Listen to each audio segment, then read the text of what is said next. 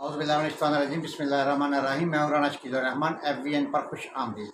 नाजरीन, आज आपके साथ तीन खबरें शेयर करनी हैं और जिसमें आपको परसों बाईस तारीख जो फ़र्द जुर्म की आयद की गई है हाई कोर्ट की तरफ़ से, उसकी अदालत का जो अंदर की सूरत हाल रही है, वो मैं अपने नाजरन के साथ शेयर करूँगा तफसील के साथ। तो नाजरीन, इस वक्त जो होने जा रहा है, वो सबसे पहले इमरान खान माइनस होने जा रहे हैं। और पीटीआई ने, इमरान खान साहब ने अपने एहतजाज की तहरीक का ऐलान कर दिया है कि वो आज से अपने पीटीआई के वर्कर और सपोर्टर्स सारे वो सड़कों पर निकलेंगे। असल में, नाजरीन, मैंने आपके साथ कुछ अर्सा पहले तकरीबन कोई कह लें कि कुछ साल पहले एक प्रोग्राम शेयर किया था अपना व्लॉग मैं आपको बताया था कि अमेरिका में तकरीबन कह लें कि उन्नीस सौ छियालीस, उन्नीस सौ पैंतालीस में रेसलिंग का एक क्लब बनाया गया था। और उस क्लब में हज़ारों और लाखों के हिसाब से जुआ खेला जाता था। तो वो बहुत बड़ा रेसलिंग क्लब था और वो रेसलिंग क्लब की जो बनाया था, उनके अपने ही पलवान तैयार किया करते थे। कि जो उनके पलवान हुआ करते थे, वो दोनों पलवान वो क्लब के अपने हुआ करते थे। अब उन पहलवानों के दरमियान बाकायदा टर्म्स एंड कंडीशन तय की जाती थी। उनके साथ शर्त शरात रखी जाती थी। एग्रीमेंट हुआ, किया करते थे। तो एक पहलवान को हारना होता था और दूसरे को जीतना होता था। अब जीतने वाले जो पहलवान थे, उनको कहा जाता था कि तुमने दो दफ़ा या तीन दफ़ा जीतना है और हारने वाले को कहा जाता था कि तुमने दो तीन दफ़ा हारना है। अब जैसे कुश्ती शुरू होती थी तो पहला पहलवान जो था, जीतने वाला, वो पहली कुश्ती भी जीत जाता था, दूसरी भी जीत जाता था तो अवाम उसके हक में बड़े नारे लगाया करती थी। और, उस पहलवान को दूसरी और तीसरी दफ़ा जीतने के बाद ये यकीन हो जाता था मतलब कि उसका एक जेन पुख्ता हो जाता था, कि जी मैं वाकई ही एक ताकतवर पहलवान बन गया हूँ, और अवाम मेरे साथ है, अवाम में मेरी एक नाम बन गया है, कि ये जीतने वाला पहलवान है। तो जीतने वाला पहलवान जो था वो कह लें कि अपने आप को एक ताकतवर पलवान मतलब उसके जेन में एक ये माइंड उसका बैठ जाता कि मैं ताकतवर पलवान हूँ और अवाम मेरे साथ है। लेकिन जब क्लब की तरफ़ से कहा जाता था कि अब तुमने हारना है और हारने वाले को कहते थे कि अब तुमने जीतना है। लेकिन जो पहले जीता करता था, जो पलवान पहले जीतने वाला पलवान था, उसको हार जो थी वो नागवार गुजरती थी कि मैं नहीं हार मतलब अपने दिल में वो सोचा था कि मैंने हारना नहीं है ना, मैंने जीतना है। तो जब वो कुश्ती हुआ करती थी तो कुश्ती के दौरान, लड़ाई के दौरान, वो जो पहले जीता हुआ पलवान था, जिसको अब हारने का ऑर्डर दिया गया था तो वो फुल खेलना शुरू कर देता है। उसकी कोशिश होती है कि मैं हारूँ ना, मैं जीत जाऊँ। और वो क्लब की, कानून की खिलाफ वर्जी किया करता था। तमाम क्लब के जो टर्म्स एंड कंडीशन है, उसके जो नज़म जब्त है उसके उसने उड़ा के हवा में फेंक देता था। तो क्लब वाले उस पलवान को फिर वो क्लब से ही आउट कर दिया करते थे। तो नाजरीन, इमरान खान साहब, अब माइनस होने जा रहे हैं। तो कल के प्रोग्राम में एक टीवी टॉक शो में मालिक साहब हैं सीनियर एंकर पर्सन हैं, मालिक साहब के साथ फवाद चौधरी साहब बैठे हुए थे। तो फवाद चौधरी साहब से जब मालिक साहब ने सवाल किया कि जी खान साहब के ऊपर 22 सितंबर को फर्द जुर्म आयद होने जा रही है। तो आप इसके बारे में क्या कहते हैं? तो फवाद चौधरी साहब कहते हैं कि जी, जो हमारे वहाँ पे वकील बैठे हुए थे, वो कुग्गू घोड़े थे। मतलब जो हमारे वकील थे, वो कुग्गू घोड़े थे। असल में नाजरीन, हो सकता है आपको भी पता हो कि हामद खान जो बड़े एक सीनियर एडवोकेट है, उनका पाकिस्तान में एक नाम है। वो और फवाद चौधरी में कह लें कि सतकवंजा चल रही है। उनका आपस में छत्तीस का आंकड़ा है। तो इसलिए लिहाज का जी उत्थे तो घुग्गू खड़े बैठे इसी के। बहरहाल, नाजरीन, अब एक्चुअल में मैं अपने नाजरीन के साथ ये शेयर करता चलूँ कि उस दिन हाई कोर्ट में जो जो वहाँ पे वकील और चीफ जस्टिस और पूरे लार्जर बेंच के साथ जो उनके आपस में सवाल जवाब जवाब हुए हैं, वो मैं अपने नाजरीन के साथ अभी शेयर करता हूँ कि Athar Minallah chief justice high court Islamabad की सरबराही में पाँच रुकनी लार्जर बेंच ने यह केस की समात की। इस मौका पर इमरान खान अपने वकील हामद खान के हमरा पेश हुए। हमद खान ने कहा कि अदालत को गुजशत रोज़ ज़िमनी जवाब जमा करवा दिया गया है। हम ये मामला ख़त्म करना चाहते हैं कि हम ये मामला रिक्वेस्ट की कि हम ये मामला इधर ख़त्म करना चाहते हैं। अदालत ने कहा कि एक और आपको मौका दिया था, जिस पर हमने नहती एहतराम के साथ गुजारशात पेश की थी। हमारा केस, ये अब अदालत ने एक और मौका दिया, जिस पे अदालत ने कहा, सॉरी, अपना वकील ने कहा कि जिस पर हमने नहत ही एहतराम के साथ गुजारशात पेश कर दी हैं। हमारा केस दानियाल अज़ीज़ और तलाल चौधरी के मुकदमात से मुख्तलिफ़ है। चीफ जस्टिस ने कहा कि तोहन अदालत तीन तरह की होती है, जैसे फरदोस आशक अवान केस में बयान किया गया है। दानियाल अज़ीज़ और तलाल चौधरी के खिलाफ क्रिमिनल तोहन अदालत की कार्रवाई नहीं थी।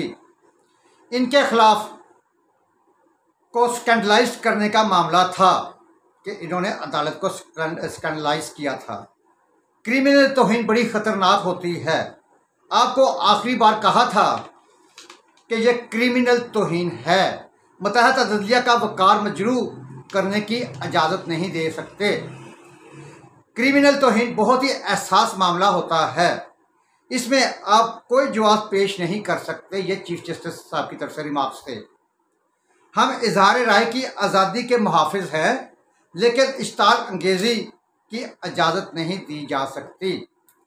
इतनी पोलराइज सोसाइटी है कि फॉलोअर्स मुखालफी को पब्लिक मकाम पर बेजत करना शुरू कर देते हैं। जैसा कि नाजिन आप सबको पता है कि एस एन जो है, एस एन इकबाल साहब के साथ क्या हुआ? ये पिछले दिनों में जो है वो उनके साथ मनाल के ऊपर जो वाक़ पेश आया है तारड़ साहब के साथ, अपनी फैमिली के साथ, के मतलब पब्लिक मकाम पर ज़ाहिर अदालतें भी देखती हैं, जज साहिबान भी देखते हैं, वो भी टीवी देखते हैं, खबरें पढ़ते हैं अखबार देखते हैं, उनको ही पता होता है कि बाहर माशरे में क्या हो रहा है। और वो आवाम से ज़्यादा ये चीज़ें चेक करते हैं। अगर इस, उनका कहना था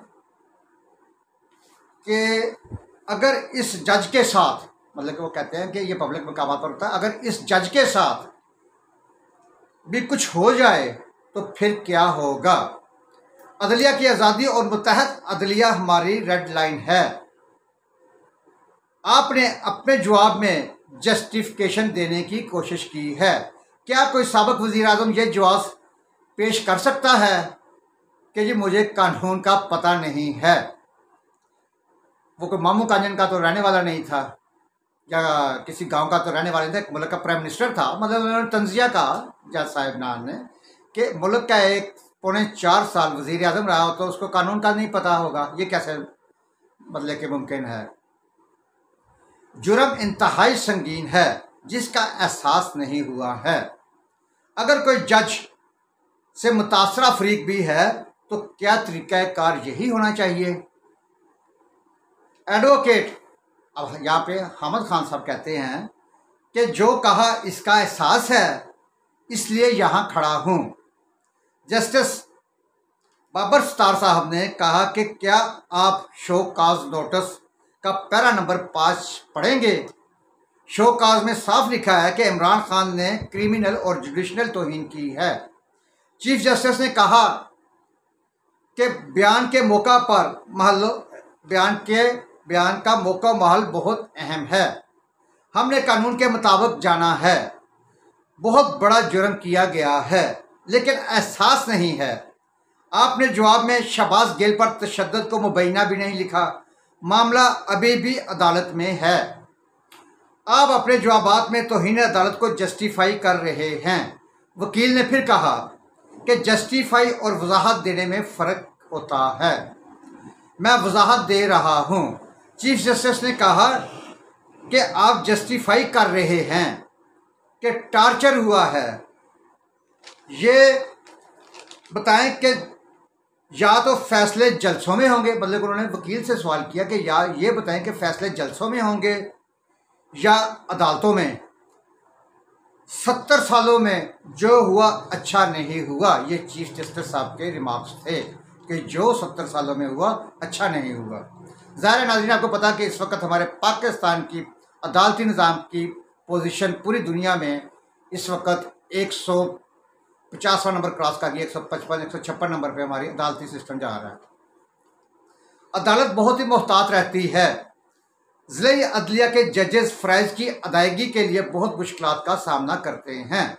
जैसा कि नाजरीन, आपको पता है कि कभी वकला साहबान सिविल जज के गले पड़ रहे हैं, कभी किसी जगह ये वाक़ होता है कभी ना कहीं, कभी ना कभी, हर दो चार महीने के बाद कहीं ना कहीं ये वाक़ ज़रूर होता है कि वकला उठ के सिविल जज साहबान के गले पड़ जाते हैं और ताले तक लगा दिए जाते हैं, कुर्सियाँ तक उठा के मारी जाती हैं।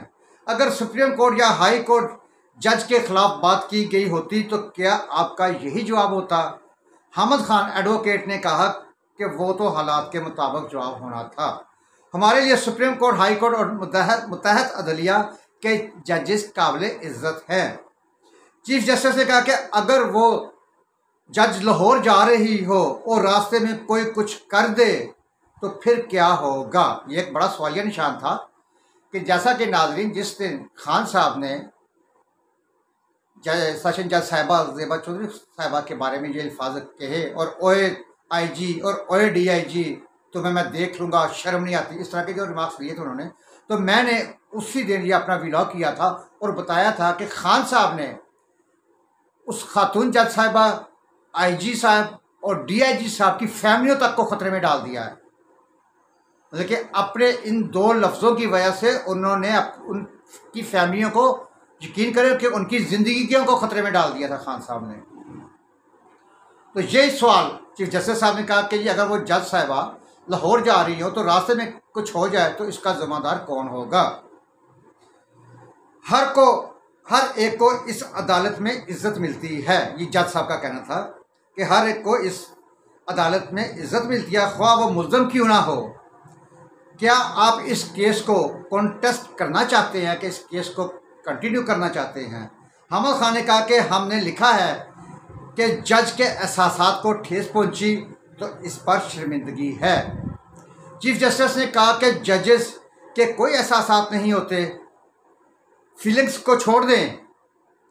जज के बारे में इश्ताल अंगेजी फैलाई गई।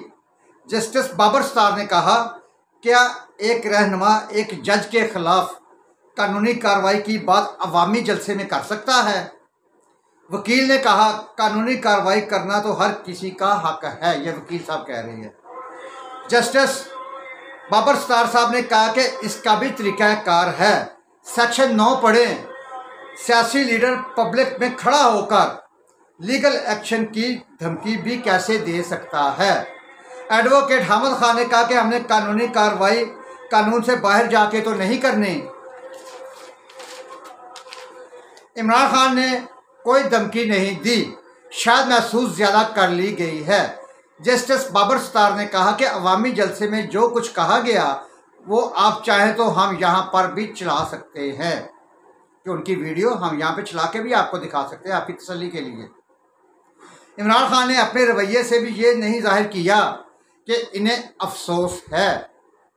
तकरीर और तोहन अदालत केस के बाद तकरीरों में जवाब पेश की जाती रही हैं। मतलब कि इस केस के बाद ये इनको थ्रेट करने के बाद भी तकरीरों में खान साहब ने बहुत सी जवाब पेश किए एक सियासी लीडर जलसे में किसी जज के खिलाफ एक्शन का कैसे कह सकता है? चीफ जस्टिस ने कहा कि आप जलसे में बिल्कुल भी नहीं कह सकते कि आप किसी के खिलाफ एक्शन लेंगे। चीफ जस्टिस ने कहा कि सुप्रीम कोर्ट ने भी इमरान खान को तोहन अदालत के हवाले से तनबी की थी और वार्निंग दी थी। सुप्रीम कोर्ट ने नाजिन शायद आपको याद होगा कि सुप्रीम कोर्ट ने भी इनको वार्निंग दी थी कि खान साहब, आप बार बार बार बार आप तो हीन अदालत कर रहे हैं। प्लीज़ रुक जाएँ प्लीज़ रुक जाएँ रिक्वेस्ट के अंदाज में। आप बहुत ख़तरनाक मोड़ की तरफ़ जा रहे हैं। ये चीफ जस्टिस अतरमनुल्ला साहब ने कहा कि आप बहुत ख़तरनाक मोड़ की तरफ़ जा रहे हैं। दौरान समात इमरान खान ने शुएब शहीन एडवोकेट के ज़रिए हामद खान को पैगाम भिजवाया। हामद खान ने अदालत से कहा कि इमरान खान परसों की तकरीर पर वजाहत करने के लिए रोस्टम पर आना चाहते हैं। इमरान खान के मुताबिक परसों की जिस तकरीर का हवाला दिया गया, वो मिस रिपोर्ट हुआ है। चीफ जस्टिस ने कहा कि वो, हम वो तकरीर जहाँ चला के देख लेंगे। आप कहना चाह रहे आप कहना चाह रहे हैं कि इमरान खान ने जो किया, वो ठीक था। दुनिया ने गलत मतलब ले लिया। चीफ जस्टिस ने कहा कि तो कि तो जिहाद पेश करके मुकदमा लड़ना चाहते हैं कि आप कोई ना कोई जवाब बनाकर इसका मुकदमा लड़ना चाहते हैं। मेरे, हमारे बारे में बहुत कुछ कहा जाता है, लेकिन तोहन अदालत केसों, केस नहीं बनाते कि हम लोग हमारे बारे में बहुत कुछ कहा जाता है कि हम केस नहीं बनाते। यहाँ खातून जज को धमकी दी गई है और मुकदमा अदालत में है। जो कि नाजिन दहशत गर्दी का केस चल रहा है दहशत गर्दी की अदालत में। जस्टिस बाबर सतार ने कहा कि हमारी अदालत किसी के खिलाफ हुक्म दे और वो बाहर खड़ा होकर कहे कि मैं जज को नहीं छोड़ूँगा। क्या ये ठीक होगा? चीफ जस्टिस ने कहा कि मदीना मनवरा में जो कुछ हुआ, वो भी इश्ताल दिलाने का नतीजा था और इसमें कोई शक नहीं है। आपको बार बार ये चीज़ समझा रहे हैं कि ये मामला बहुत संगीन है। पॉलिटिकल लीडर पर बहुत बड़ी ज़िम्मेदारी आयद होती है कि वो क्या अल्फाज इस्तेमाल करे। जैसा कि नाजरीन, आपको पता है, खान साहब जलसे में बाद में खड़े होते हैं। जैसे स्टेज पे जाते हैं तो नीचे से डीजल डीजल डीजल डीजल की आवाज़ें आनी शुरू हो जाती हैं। चोर चोर, गद्दार गद्दार की आवाज़ें शुरू हो जाती हैं। और इसमें कोई शक नहीं कि लीडर का मुँह से निकला हुआ लफज कई लोगों की जान को खतरा बन सकता है, कई लोगों की फैमिली को खतरा बन सकता है। हमें जस्टिस साहब का चीफ जस्टिस साहब फरमा रहे हैं कि पॉलिटिकल लीडर पर बहुत बड़ी ज़िम्मेदारी होती है, क्या वो, कि वो अल्फाज का चुनाव ठीक तरीके से कर रहा है। हमें हजूर पाक वसल्लम की ज़ात और फ़तेह मक्का से सीखना चाहिए।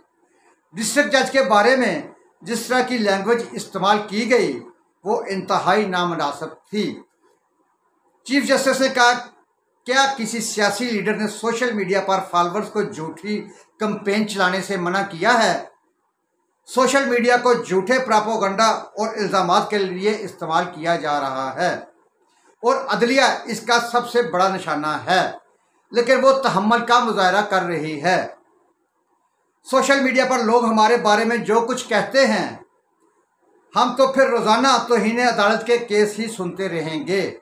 अदालत को कोई फ़र्क नहीं पड़ता। एक मौका पर इमरान खान ने फिर रुस्तोम पर इमरान खान ने एक मौका पर फिर रुस्तोम पर आने की दरख्वास्त करते हुए कहा। रुस्तम पर आने की दरख्वास्त करते हुए कहा कि क्या मैं आकर अपना मौक़ बयान कर सकता हूँ कि मुझे रोस्टम पे आने दिया जाए।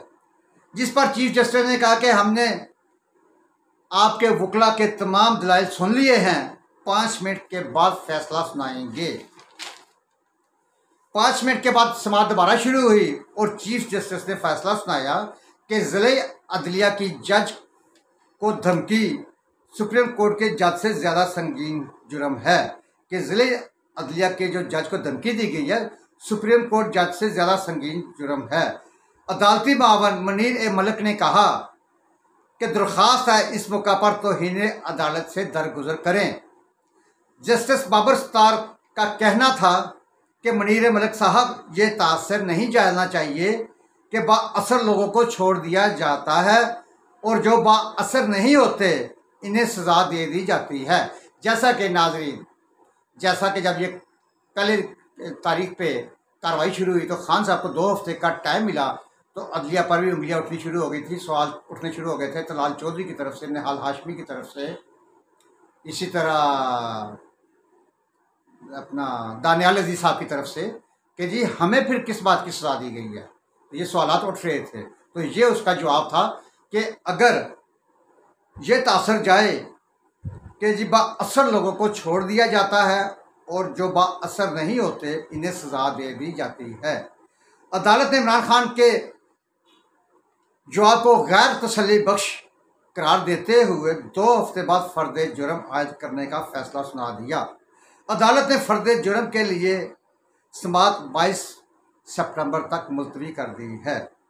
नाजरीन, अब इमरान खान को कहीं से यकीन करें, जैसा कि मैं ख़ुद बार बार ये तजिया करता रहा हूँ, जैसे ये अदम अतमाद के बाद, कुछ अर्सा के बाद जैसे जैसे टाइम गुजरता है कि इमरान खान साहब को ना तो अपोजिशन से कोई ख़तरा है, ना कोई इतिहादियों से, ना कोई किसी और तरफ़ से। इमरान खान खुद अपने लिए ख़तरा है।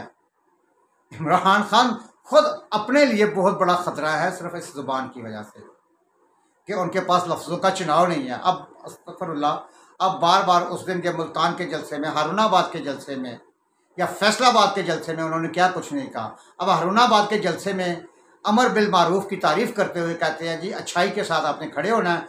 जो मुझे वोट देगा वो अमर बिल मारूफ के साथ खड़ा है और जो किसी दीगर पार्टीज़ को वोट देगा तो वो शिरक करेगा। अस्तफरल्ला खान साहब, मैं बार बार कहता हूँ कि आप कौन सी स्यारे की मखलूक है? कौन से स्यारे से आप उतरे हैं? बहरहाल, अदालत ने उन्हें बार बार मौका दे रही है कि माफ़ी मांग ले, माफ़ी मांग ले, माफ़ी मांग ले, लेकिन वो माफ़ी मांगने के लिए तैयार नहीं हो रहे। उनको उम्मीद नहीं थी। यकीन करें कि जैसे याद है आपको कि अदम अतमाद से पहले आखिरी टाइम तक आखिरी टाइम तक उन्हें उम्मीद नहीं थी कि मेरे खिलाफ अदम अतमाद आएगी। वो कह रहे थे कि पहाड़ों से कोई, उनको कोई सपोर्ट आ जाएगी, कोई आसमान की तरफ़ से सपोर्ट आ जाएगी। वो इस उम्मीद से बैठे रहते। अब उनको ये बिल्कुल उम्मीद नहीं थी कि मेरे ऊपर फ़र्द जुर्म आयद हो सकती है। वो असल में वो अवामी ताकत की वजह से यकीन करें, अवामी ताकत उनके सर चढ़ पर बोल रहा है। वो जो अवामी ताकत का नशा है ना, वो कहते हैं ना कि सर चढ़ कर बोल रहा है, ये सेम वही पोजीशन है कि वो अवामी ताकत में इतने इतने आगे जा चुके हैं कि अब उनकी वापसी जो है, वो मुश्किल नज़र आती है। नाजरीन, प्रोग्राम बहुत लंबा होता जा रहा है तो मुझे, मैं प्रोग्राम को यहाँ पे ख़त्म करता हूँ। असल में अब खान साहब को ये फैसला हो चुका है, हंड्रेड परसेंट श्योर हो चुका है कि खान साहब जिस हद तक आगे चले गए थे, कि खान साहब को माइनस कर दिया जाना ही बेहतर है। और इसी में मुल्क की भलाई है, पाकिस्तानी आवाम की भलाई है। इस प्रोग्राम के साथ इजाज़त दीजिए, अपना घर का मोहल्ले का शहर का और खूबसूरत, प्यारे पाकिस्तान की सफ़ाई का खास ख्याल रखें। पाकिस्तान, पाइंदाबाद, अल्लाह हाफिज़।